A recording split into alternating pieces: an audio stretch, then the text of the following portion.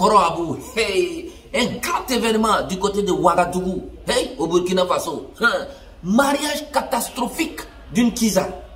Figurez-vous que la présidente de Kiza de tout Burkina a décidé de se marier. C'est pas catastrophique ça Imaginez-vous le scandale que ça va causer. Hey, c'est le 6 novembre au Sénazar. On demande à tout le monde, toute la population burkinabé, tous ceux qui résident à Ouaga, au Burkina, donc qu'à se converger pour aller là-bas.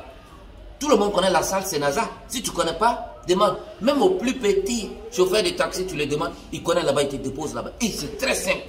5 000, 10 000 pour suivre le catastrophe, ce mariage catastrophique de la présidente de Kiza, Adel, Adel Bado.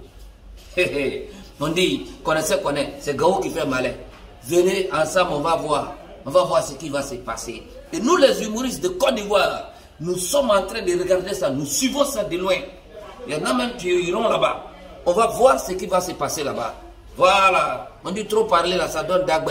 Laissons tomber ça. Venez, vous allez voir clair. Le 6 novembre, à la salle Sénazar, c'est à Ouagadougou. 5 000, 10 000. Mariage catastrophique d'une Kiza avec Adel Bado. Ça va tirer.